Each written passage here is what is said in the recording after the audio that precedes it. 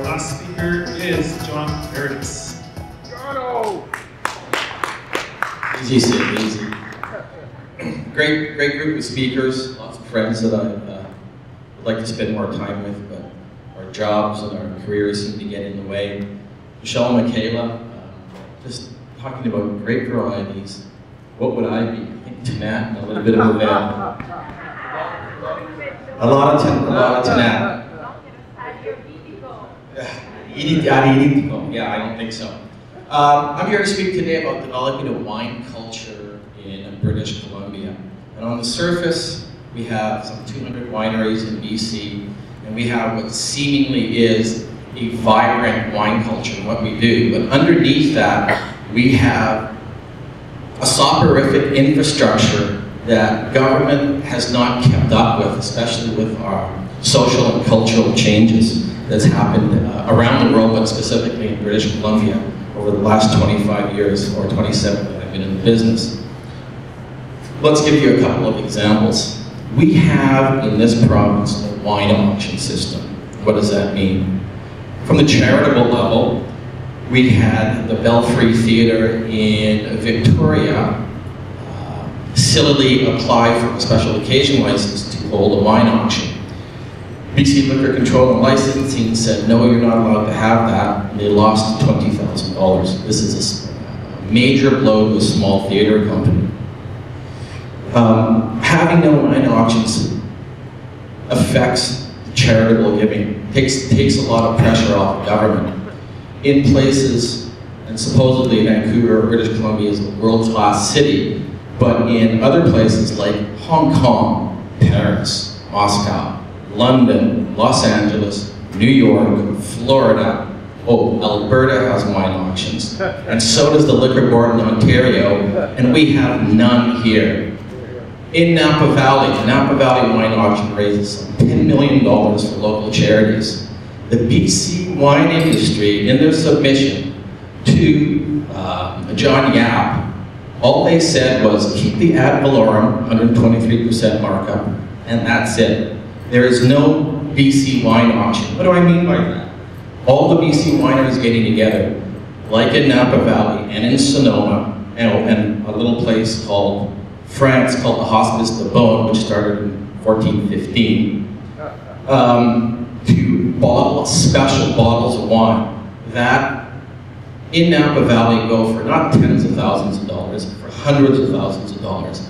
People travel all over the world to specifically visit Napa Valley, attend the auction, eat at Meadowood, eat in the restaurants, stay in the hotels, fly in and rent cars. We have none of that. Here. Private wine stores cannot buy and sell wine cellars. I can tell you right now, there is significant business that's being done on the black market of buying and selling wine. Willow Park in Alberta, the LCBO in Ontario all have wine auctions. K&L Wine Merchants buys and sells wine online in their store. We can't do that here. why can't we make BC an international or at least a Canada-wide destination place for wine auctions? You young people in the audience will never get to taste old Bordeaux because of our laws. Our policies inhibit creativity, inhibit jobs, and get people to move away. Specifically, James Cluer, who's a master of wine, he's in California. Let's look at Liquidity Winery in Okanagan Falls. When I spoke to Ian in the summertime, he had waited 14 months to get final approval for liquor licensing. He's only invested $9 million. Still to this day. Tim, has he got approval yet? No. He called liquor licensing up, spoke to spoke to someone at liquor licensing and said, let me see, you're behind. People have told you to cut back on your staff, yet if you stamp those approvals, revenues would be coming in. Yes, but why don't you hire people? We've been told to cut back.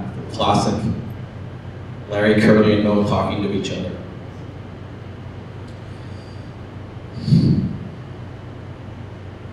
What are my friends? Let me get back with liquidity. We have in this province no secondary tasting rooms. What does that mean? In Woodinville, McMinnville, and Walla Walla, when I first started going there 20 years ago sourcing wine, those towns were dead. Walla Walla, I remember sage brushes like you would see in a John Wayne movie, went across the main street. The Whitman Ho Marcus Whitman Hotel, which was built around in the early 1900s, was literally boarded up. Today, Walla Walla, like Woodinville, but Walla Walla has 177 wineries. Why? And the towns are thriving. Why? Secondary tasting rooms. The state of Washington, realized that the market is in Seattle, but the grapes are grown on the other side of the Cascades. It's pretty geography 101, but um, hopefully our politicians will learn that here. So what they did is they developed the Woodinville wine route. And when I, again, when I first started going there, it was kind of like going to Langley in the 1960s. Dark, no street lights, industrial, always lost. One egregious pub on the corner that's still there. Today, there's roundabouts, art galleries, bookstores, tasting rooms, and people from BC that go down to Woodinville for the weekend because they've marketed it up here. We've done nothing of the sort here. Okanagan Falls would be a great place to have secondary tasting rooms between Liquidity and Meyer, Synchromesh. It would be a destination place. I heard, speaking to someone in Okanagan Falls and sorry with some of the city town, the town planners and councilors don't want it. I, I can't believe that. That is just, that is just a lack of forward thinking. Wine bars. We really don't have any here.